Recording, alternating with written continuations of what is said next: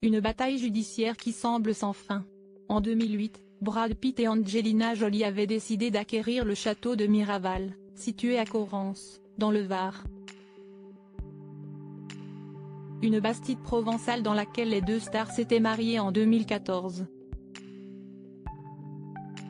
Mais, depuis l'annonce de leur divorce en 2016, les ex-époux se déchirent cette propriété.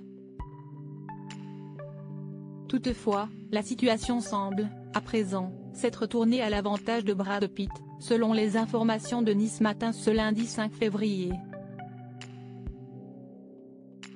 Accusé d'avoir dépensé plusieurs millions de dollars pour la rénovation d'une piscine, la construction et la reconstruction d'un escalier quatre fois et la restauration d'un studio d'enregistrement, Brad Pitt avait dû faire face aux actions en justice de la part du magnat de la vodka Yuri Shefley.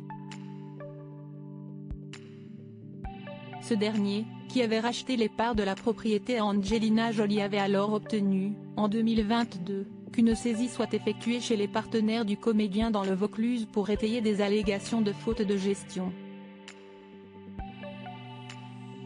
Mais, selon les informations du journal, un arrêt rendu par la Cour d'appel de Nîmes, datant du 21 décembre dernier, a annulé une procédure visant à remettre en cause la gestion et la gouvernance du domaine. Un tribunal du Luxembourg a également rendu provisoirement à Brad Pitt son statut d'actionnaire majoritaire dans la société Écran qui contrôle Château Miraval SA. D'ici quelques semaines, une autre décision de justice est attendue.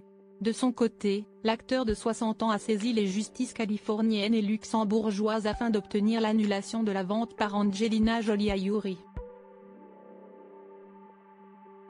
Brad Pitt à 60 ans, découvrez son évolution physique et Brad Pitt et Angelina Jolie, sur le point de trouver un accord?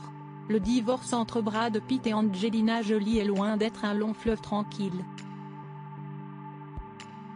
Après l'annonce de leur séparation en 2016, les deux stars se sont disputées sur la garde de leurs enfants, mais aussi leur domaine viticole de Miraval. En 2022, l'acteur avait intenté une action en justice contre son ex-femme visant à annuler la vente de ses parts à l'oligarque russe Yuri Shefley. C'était ensuite au tour de Brad Pitt s'être visé par une plainte pour intimidation et comportement illégal sur le vignoble en juillet dernier. Mais, le 27 juillet dernier, le Daily Mail révélait qu'un accord serait sur le point d'être trouvé entre les deux stars du cinéma concernant Miraval. Pour éviter que l'affaire ne passe devant la justice, ils auraient accepté une médiation pour régler leurs différends. Brad Pitt aurait lui été nommé administrateur provisoire pour qu'il puisse continuer ses activités de production de vin.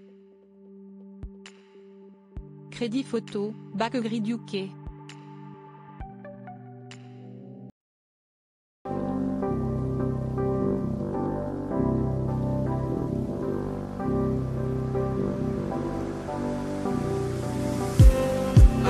just me.